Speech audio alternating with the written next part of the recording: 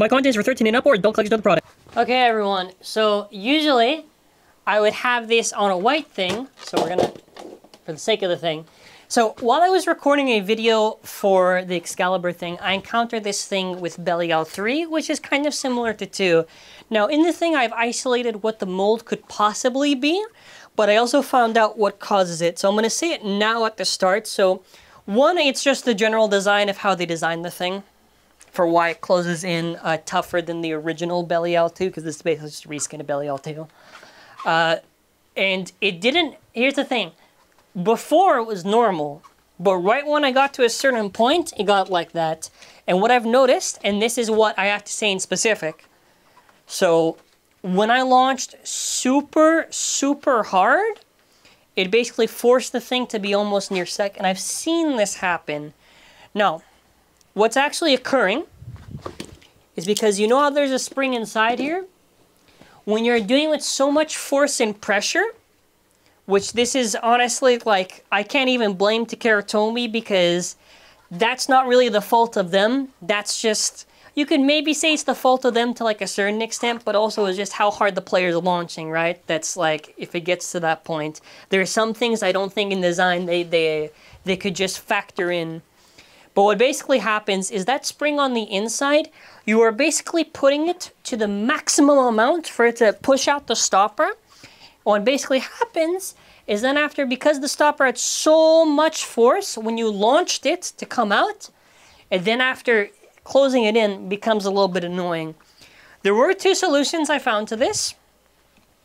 I did mention in the past this launcher stuff the when you push the launcher prong in on the thing trying to close it in, that does usually work for like the normal ones. But when you get to this extreme case, uh, what I did was I basically just launched it on like a soft surface and I basically just like tapped it on the side and I forced it to burst. Don't use tools. And the reason why I say don't use tools is because tools does not make any sense to do because what you are doing is you are just wasting uh, resources to break that thing even more that doesn't accomplish anything. Even if it does close it, the launcher thing makes more sense. Oh, but you're damaging the side. Listen, it's either you want to break the stopper and complain, or you just do a slight little tap on the thing and then after it bursts right away. The other alternative that I show in this is that you actually can just open it and then after it's put it back together and then after it's fine because you basically just reset that spring. So this thing does have solutions. I do think there are probably specific molds on the thing. And I do want to bring to attention to the viewer about this because honestly, it's important we're transparent here. And also it's important that instead of just doing a lazy video, rushing it, that we found solutions and we tried to isolate it.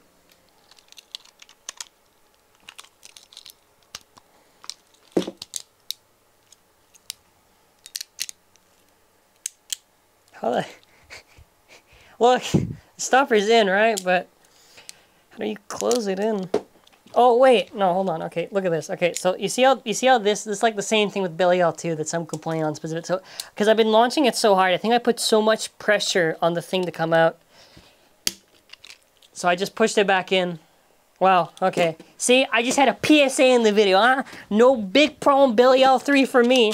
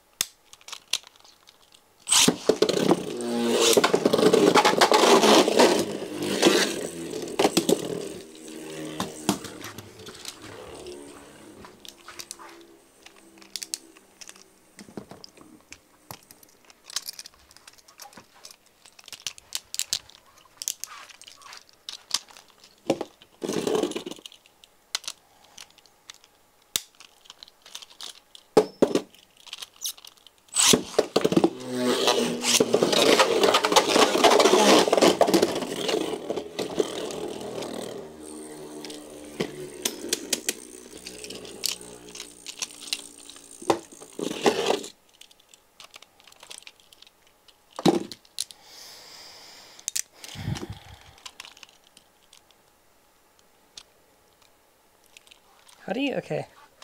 So, so look at what happens here. So, you see, do you see how it's like this? Like, look, like, I'm trying to do the Excalibur thing. This is annoying me now. This is only happening because I'm try-hard launching right now. So I have to see what mold this is. Hold on. Okay, so now let's get some context in here. So as you will notice in the actual recording, when I am launching in Self-KO Nice, with the Belial 3, on the in the video, which obviously the whole session's maybe like an hour or whatever. On the previous times, you will hear me do a click sound. That is either me closing it in normally with the disk, or I just did a launcher to push in to close it. Those are normal methods to close the thing, or you could put your finger if you want to, and it usually works. But when I got to the thirdish time or whatever, when the thing just would not do it, that is because if you'll notice, my launch strength was a lot stronger than before. So similar to what I've just said, because the strength was so much on it, it's forcing that spring. And you're going to hear me repeat it. This is just post-recording just to really explain and give context.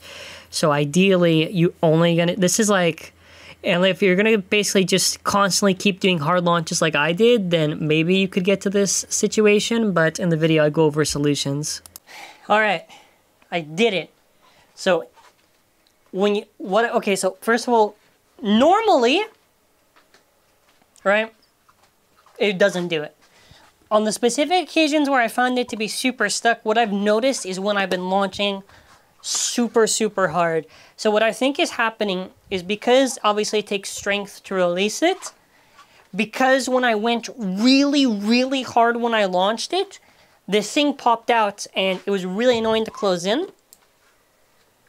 So usually the launcher works. Obviously, you have to be mindful for the launcher prongs, and you can see that because uh, I was not careful enough, I did kind of screw it up. That is my fault. Uh, so first of all, let's try to inspect what caused this issue. So what mold is this? A1?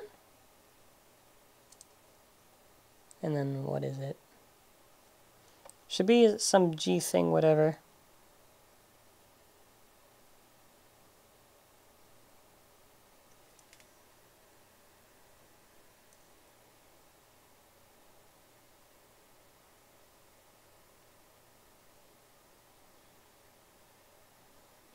And then after, I think that's G22, or wait. So be aware that I had a G22 mold, which is, you see it on the corner there, and then after it's A1.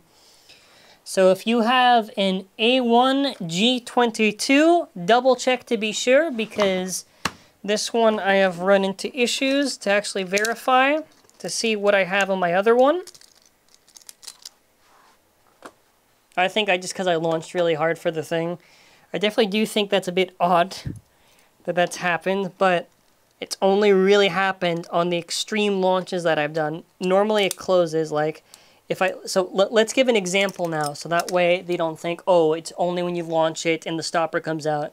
Because that's not how the design works of the thing. It's idiotic just to say just that. So let's say I get this and I, it comes out. Okay, not like that. Hold on. Okay relative launch that you'll probably see. So if I try to close it now, you'll notice,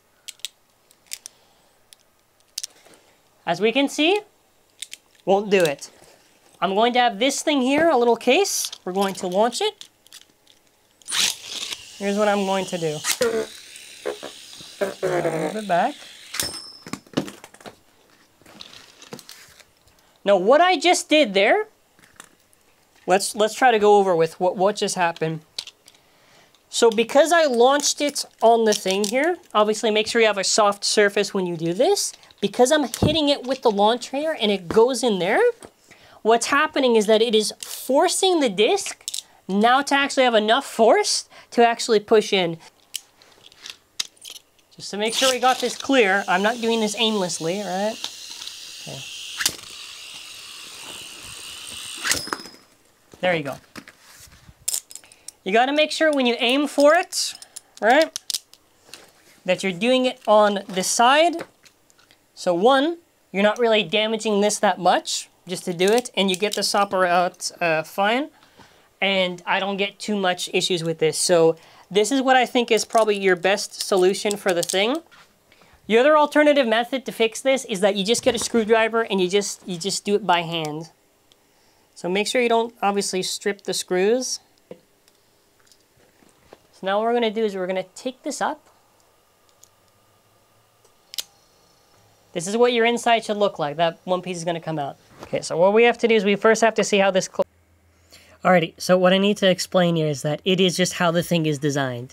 Like, I'm going to be honest right now, I do think you can give the teensiest bit blame to Takara Tomy, but also it's just like, these are things that can't really factor into that how it actually works for the pressure on the spring for the thing. So I don't really blame them too much, but it, it's good to address regardless for the thing. So you see me assemble it now again. So now we're going to repair this thing, and what this basically is going to do is it's just going to like nerf it a bit. Alright, so I don't want to give you the whole boring me talking while I screw this thing in, so I'm speeding up the footage for this segment. Uh, basically what you're doing here is you're just weakening the spring, or kind of like resetting it in a way, so that way it's still going to be as strong, and I think I show it, but it won't be as crazy as before. Uh, and again, I have to stress that doing tools like tweezers, whatever to close it in, uh, those won't be effective. You either do the thing where I said the tap, or you do the thing where you just reset it. One or the other, these are the, probably the most effective. If someone has another alternative that's effective where you're not basically shattering the stopper, feel free to.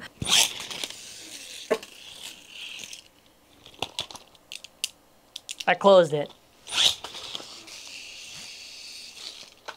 You do make it a little bit weaker, Alrighty, so there you go. I've explained the factors that led to the thing. I've explained the mold that could potentially be the issue. I also explained ways to get around this. Uh, also, I denounced previous methods and I said new methods that you could use. So the new methods of either smacking it on the side, which does work, just on a soft surface, just do that, or you just get a tri-wing screwdriver and you just open it and be careful because the thing will fly out, obviously. So make sure you have it all closed together so that way that the things don't go fly out. Make sure you have supervision or you know what you're doing when you're taking it apart to put it back together. And yeah, these are solutions for three, for red two, and I will concede that uh, this is very likely to happen if you do the same factors that I did. However, there are very much solutions towards this.